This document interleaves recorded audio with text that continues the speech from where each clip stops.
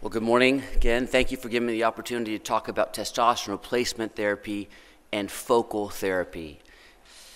Um, so, as many of you know, there are numerous men who suffer from hypogonadism. And remember that if you truly meet the definition of hypogonadism, not only do you have to have the signs and symptoms, but you also have to have low testosterone value. We know that roughly 4% of men under the age of 50, 8% of all men over the age of 50 will meet this criteria. Many of these men will have prostate cancer, they will undergo focal therapy, and they will come to you in your office and say, I would like to have my testosterone replacement therapy.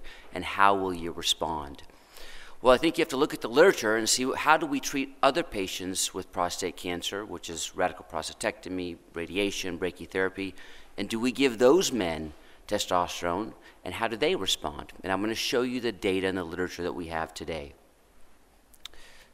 So I just want to start out. This is a Canadian study. I think this is very interesting because 10 years ago, when I started giving these talks, I said, How many of you in the audience would give men testosterone after a radical prostatectomy? Very few hands would go up.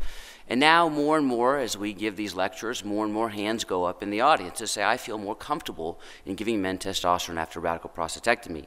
But this is a study giving testosterone to men on active surveillance, which I thought was pretty interesting. If you look at some of the important points here, would you offer testosterone to men on active surveillance? 65% of the urologists would say yes, I would give men testosterone on active surveillance. Uh, have you offered testosterone to men on active surveillance? 65%, 35% yes.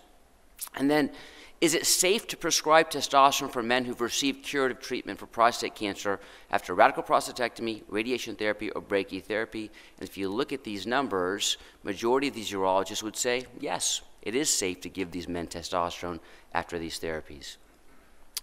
So I just want to start out by telling you that if you did a literature search today and you looked at the incidence of prostate cancer in those men being treated with testosterone is identical to those men not being treated with testosterone. That's a very important point. Study after study, meta analysis after meta analysis, there's not been a single study to show that those men being treated with testosterone have a higher incidence of prostate cancer than those men not being treated with testosterone. This is a registry study that came out last year. It's called the RHYME study. It was a, a well received study in Europe looking at men, roughly 1,000 men, 750 men received testosterone therapy, and they looked at the proportion of uh, prostate cancer biopsy positive. They found that roughly 37%, of, 37.5% of those men receiving testosterone had positive prostate biopsies during the course of the study versus 37% who are not on TRT. Again, no study can show to date that those men receiving testosterone have a higher incidence of prostate cancer than those men not receiving testosterone. Well, what does the literature show on testosterone therapy after prostate cancer therapy? So these are some of the earlier studies by Kaufman and Agarwal. They were very small studies, seven patients, 10 patients, no recurrence of prostate cancer. I published one later on uh, with 57 patients, again, no recurrence of prostate cancer.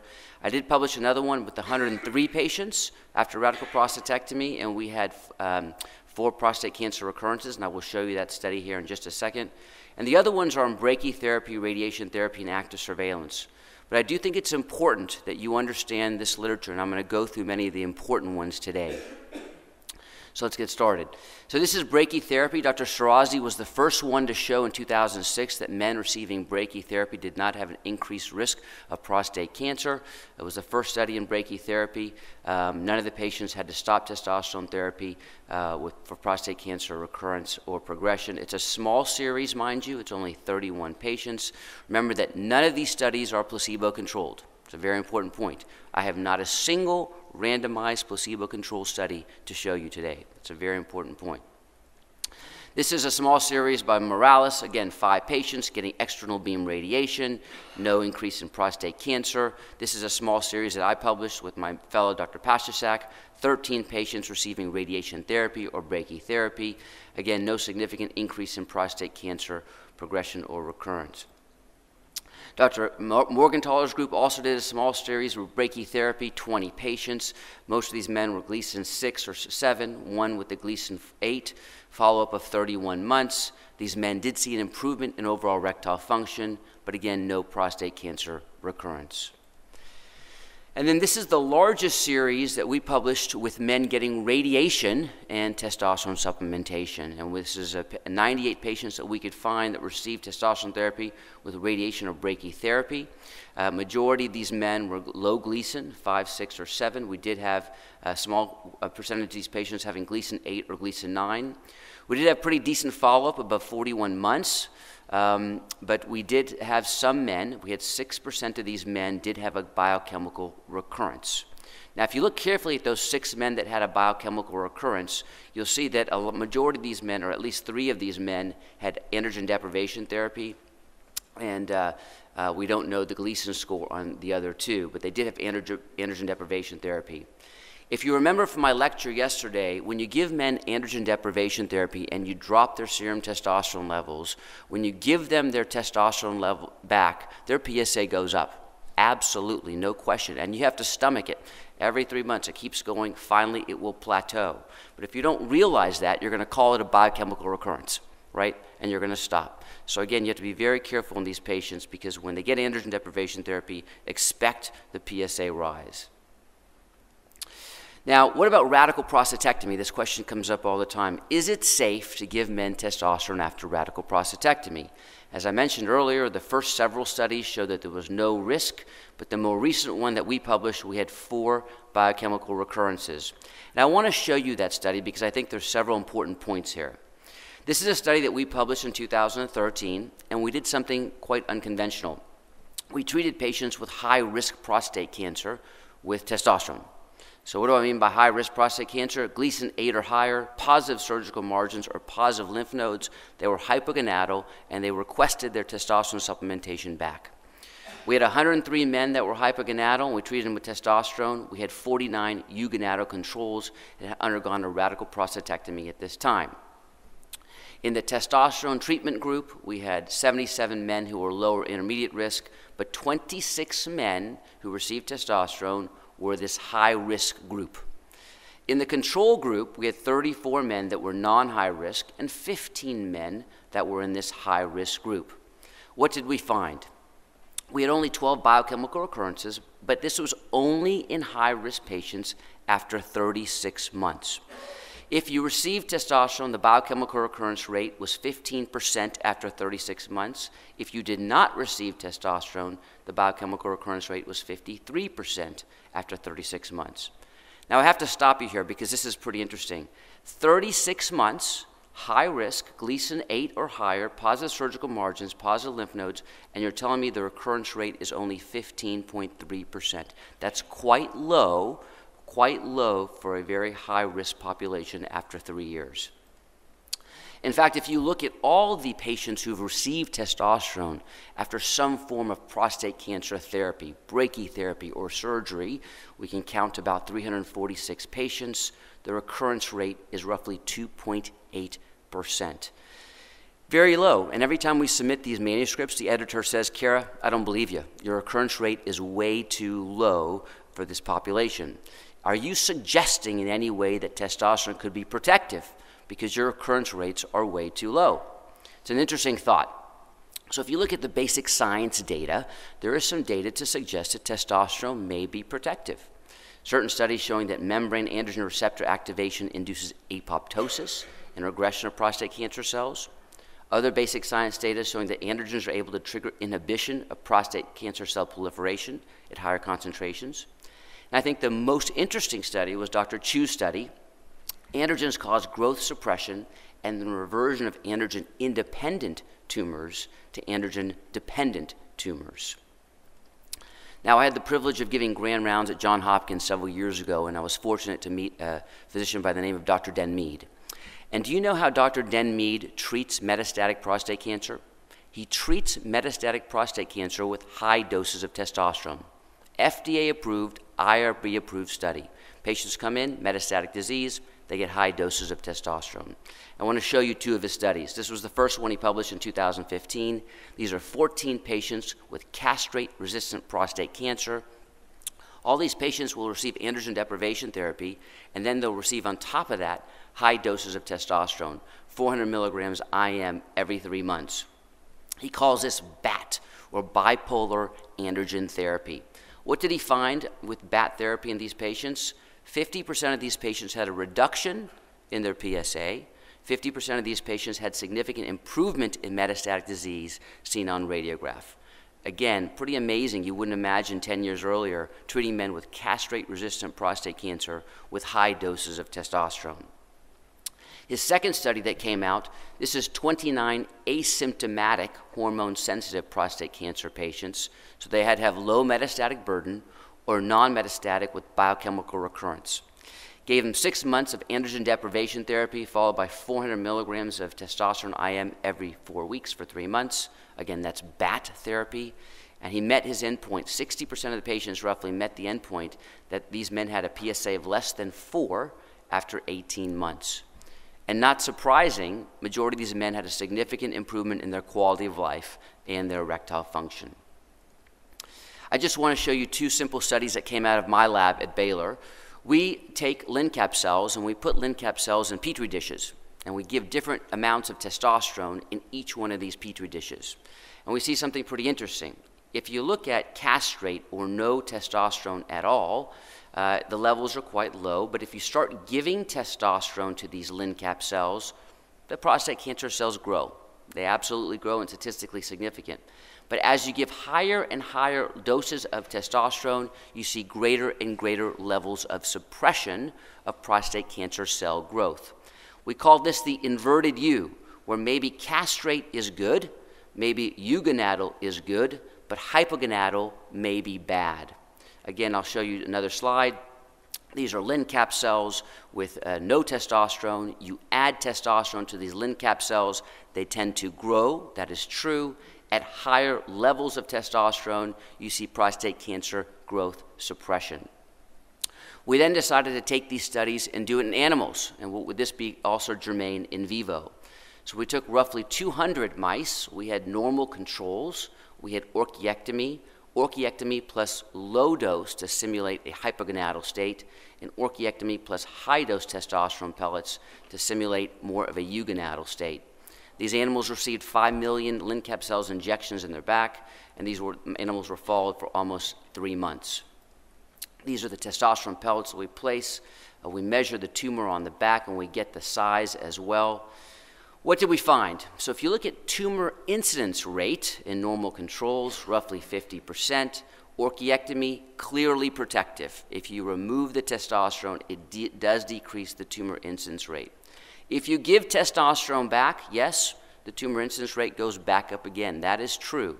But when you give higher doses of testosterone, you again see a suppression in tumor incidence rate. What did we find? Very similar to what we found in vitro is what we found in vivo. I call it the inverted U, where we believe that maybe castrate is okay, maybe eugonadal okay, but in my opinion, the middle range may be dangerous. So I get this comment all the time you can't tell me that it's safe based on these retrospective small series studies. I agree. You have to do a randomized placebo controlled trial. So many years ago, we started the first randomized placebo controlled trial giving men testosterone or placebo after a radical prostatectomy.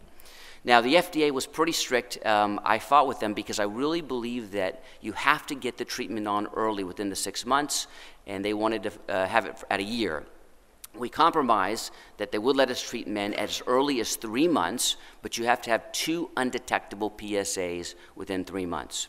And I'm allowed to treat patients with a Gleason 3 plus 4, but not any higher. So again, 3 plus 3, 3 plus 4, but no patients with a 4 plus 3.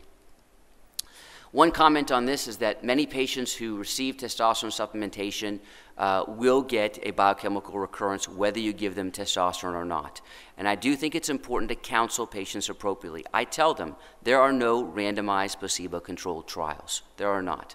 And until they are, are randomized placebo controlled trials, I cannot tell you that it is 100% safe because we don't have that data.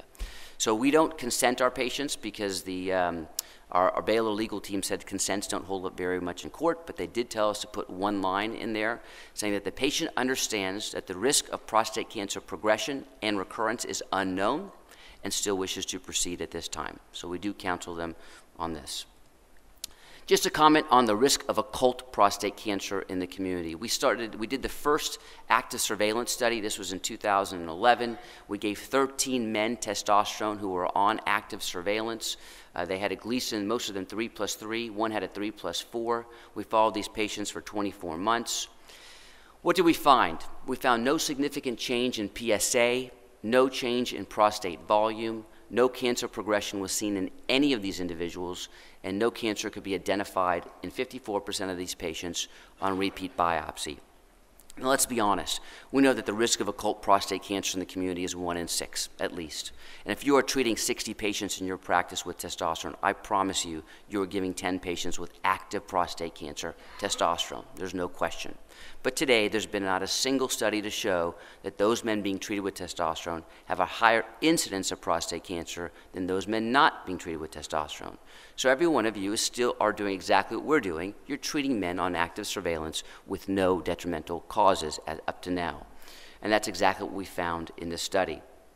There have been several other studies on active surveillance. This is a little bit larger with 28 patients on active surveillance receiving testosterone therapy. And I will just sum it up. Dr. Morgentaler's group also found no differences in prostate cancer progression in men on active surveillance or receiving testosterone versus those men not receiving testosterone.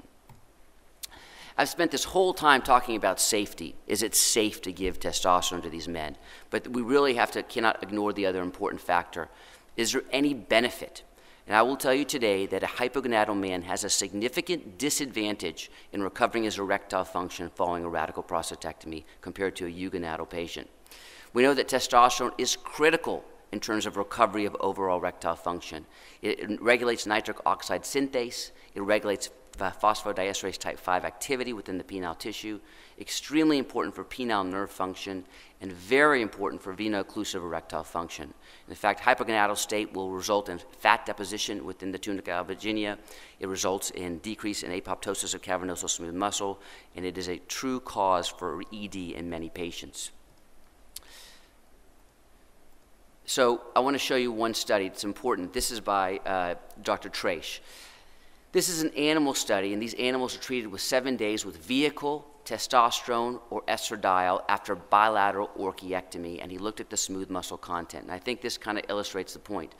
This is control, this is castrate, this is when you give back the testosterone to these animals. So, again, I just think it's important that you realize that when you look at the control, you look at the castrate, and when you're giving back the testosterone, you seem to preserve the, the cavernosal smooth muscle, and where the castrate sees a significant increase in fibrosis. Um, finally, remember, for the past 10 years, uh, my specialty really is in uh, sexual medicine, and I spend quite a bit of time in, in rehabilitating many of these patients after radical prostatectomy and prostate cancer surgery. For 10 years, we focused on three things, if you look at the literature nerves, trabecular smooth muscle, and endothelium. It's a repeat concept in this field of penile rehabilitation. How can we improve these three to recover erectile function? But if you look at testosterone carefully, what does it do?